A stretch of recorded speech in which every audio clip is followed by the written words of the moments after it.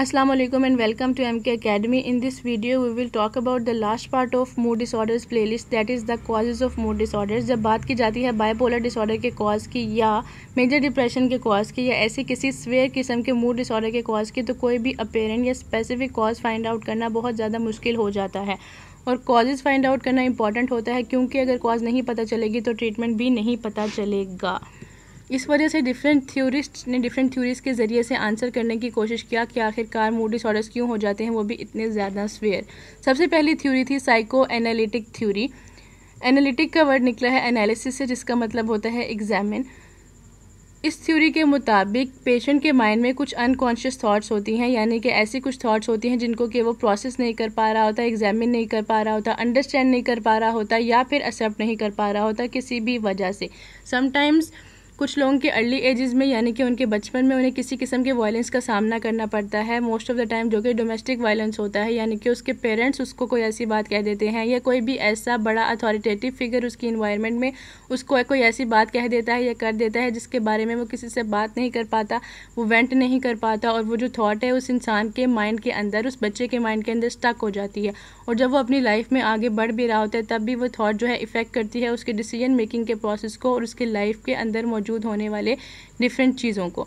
तो psychoanalytic theory के मुताबिक अनकॉन्शियस थॉट कॉज होती है मूड डिसऑर्डर का, जिसको ट्रीट किया जा सकता है कॉन्शियस में लाकर। पेशेंट के साथ डिफरेंट थेरेपीज़ के ज़रिए बात की जाती है और उसके थॉट्स को उसके कॉन्शियस में लाया जाता है। Next theory is cognitive learning of thoughts इस थ्योरी के मुताबिक thinking pattern way of thinking cause होते हैं मूड डिसऑर्डर का। हम किस तरह से सोचते हैं, वो इनेट होता है, यानी कि हम उसके साथ बॉन्ड होते हैं, उसके साथ पैदा होते हैं, लेकिन कुछ तरीक़ों से हम अपने वेज ऑफ़ थिंकिंग को जो है सीखते हैं लर्न करते हैं हमारे इन्वायरमेंट्स से। तो कुछ बच्चे ऐसे होते हैं जिनके पेरेंट्स जो हैं,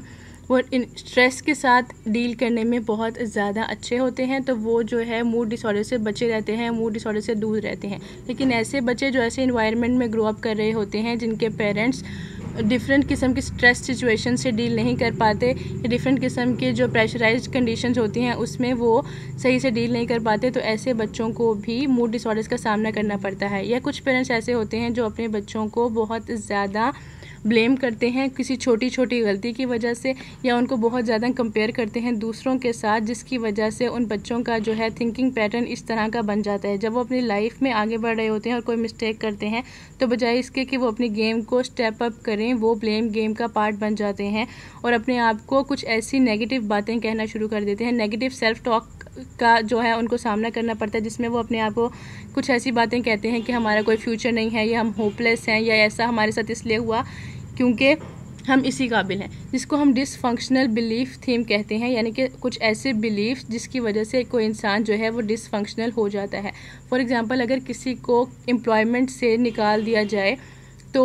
इकोनॉमी की वजह से भी फॉर एग्ज़ाम्पल लेकिन वो ये इंसान जिसकी थिंकिंग पैटर्न नेगेटिव है वो ये सोचेगा कि उसको जॉब से इसलिए निकाला गया क्योंकि वो इस काबिल ही नहीं था कि वो इस जॉब का पार्ट बनता या इस जॉब को करता। तो जिसकी वजह से उसके लिए अपनी लाइफ में कुछ इंपॉर्टेंट डिसीजंस लेना या अपनी लाइफ में आगे बढ़ना और एक कामयाब इंसान बनना बहुत हद तक मुश्किल हो जाता है। इस थ्योरी के मुताबिक थिंकिंग पैटर्न्स कॉज होते हैं मूड डिसऑर्डर्स का और उनको ट्रीट किया जा सकता है पेशेंट के साथ बात करके और पेशेंट को बताकर कि किस तरह से पॉजिटिव और नेगेटिव थाट्स जो हैं वो एक दूसरे से डिफरेंट होती हैं और उसकी लाइफ पर इम्पेक्ट कर रही होती हैं।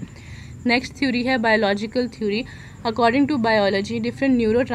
जो हैं, वो रिस्पॉन्सिबल होते हैं मूड को सही तरीके से काम करने के लिए। न्यूरो बेसिकली केमिकल सब्सटेंसेस होते हैं जो एक न्यूरॉन से दूसरे न्यूरॉन्स की तरफ़ जो है ट्रांसफ़र होते हैं। डिफरेंट न्यूरॉन जैसे कि सिरोटोनिन नोर एपिनेफ्रिन डोपामिन जो हैं रिस्पॉन्सिबल होते हैं स्लीप साइकिल को या इस किस्म के मूड साइकिल्स को डिफरेंट साइकिल्स को सही तरीके से काम करवाने के लिए। तो बायोलॉजिकल थ्योरी के मुताबिक किसी वजह से जो है न्यूरो या तो ख़त्म हो जाते हैं या कम हो जाते हैं। तो उनको ट्रीट किया जाता है by different kind of medicine तो ये तो थी बायोलॉजिकल थ्योरीज़ या ऐसी कुछ थ्योरीज़ जो कि कॉज बनती हैं, जो इन्होंने कॉज बताया मूड डिसऑर्डर्स का और उनको ट्रीट किया जा सकता है इन थ्योरीज़ को समझ के और इनको ट्रीट करना बहुत ज़्यादा इंपॉर्टेंट होता है। Thank you so much for watching and don't forget to subscribe